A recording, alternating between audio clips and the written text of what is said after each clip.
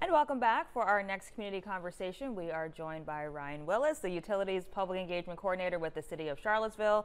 Thank you for coming in today, Ryan. Thanks for having me. Of course. And today we're talking about stormwater runoff. So, what exactly is that? So, stormwater runoff is rain or snow melt that flows over the ground into a stormwater conveyance system or directly into streams or creeks. Um, and there's actually uh, a lot more to it than what might meet the eye when you just see water flowing down the street.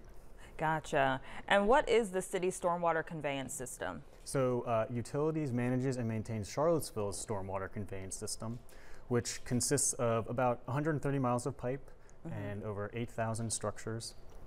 And its main purpose is to protect uh, residents and their property from floodwater by uh, flowing, uh, efficiently flowing runoff uh, with as few contaminants as possible.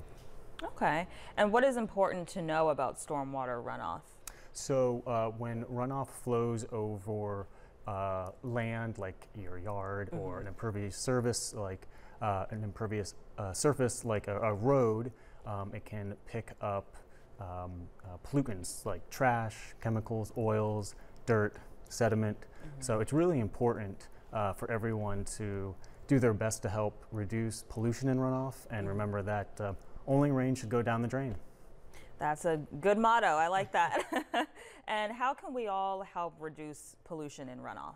So there are actually there there are many ways that we can uh, help reduce pollution and runoff and manage runoff, and we encourage everyone to visit our website for in-depth information.